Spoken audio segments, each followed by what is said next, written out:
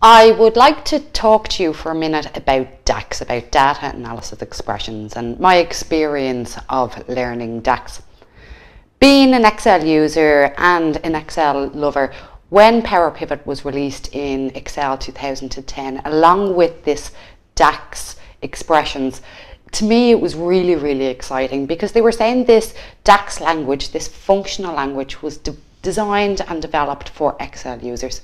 So in my little head, I thought to myself that, yippee, I can learn to code this particular language and it'll be the first language that I've learned to code and it's going to be really, really easy because it's made for Excel users. But I quickly came to realize that DAX isn't as simple as Excel. DAX is a very, very powerful language. It's a functional language. And now not only is it used in Power Pivot with Excel, but it's also the modeling language in Power BI and it's used in analysis services too. So the DAX language has now spread from one program to three programs and it's a really, really powerful tool for analyzing your data with and modeling your data with. So what's the differences between then Excel functions and DAX functions? Well, as I said, DAX is much more powerful. DAX doesn't work on cell by cell references like Excel does. And as I've heard hell in a cell, I love that expression.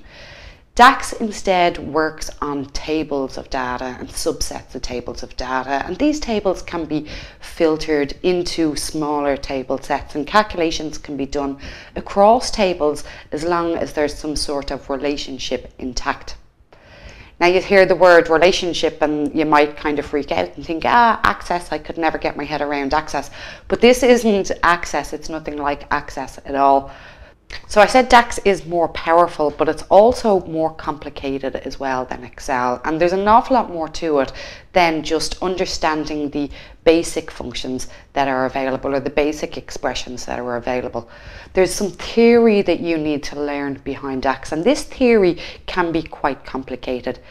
It's theory related to the context in which expressions are actually carried out. And if you don't understand the context, the basic fundamentals of DAX, you're not going to be able to carry out complex DAX calculations and actually get the results that you want. So the good news is there is a new course coming soon on the Excel Club. It's going to be Mastering the Fundamentals of DAX for Power BI, Power Pivot and Analysis Services. This course is going to cover all of the fundamentals and it's going to be a really, really meaty course, a course that you can get stuck into because it's going to have plenty of activities for you to do. It's going to cover all of the basic and the most common DAX functions used, iterator pairs such as sum and sum x, counting count x. But most importantly, it's going to give you the knowledge behind how DAX actually works, how the DAX engine actually carries out the expression. So we'll talk in detail about the row context and about the filter context. And all this terminology will come together for you within the course. And after we look at this, we'll then also look at the calculate function, which is one of the most powerful functions that there is in DAX. And we'll finish up looking at time intelligence functions and how these time intelligence functions actually work because by understanding time intelligence functions, you can even build your own. So keep your eye out on the website, the excelclub.com. Hop over and sign up to the newsletter and you will be on the email list then when the course goes live. And thank you very much for watching the video. If you like this video, don't forget to like and subscribe. And please do leave your comments in the comments box below and I'll get back to you.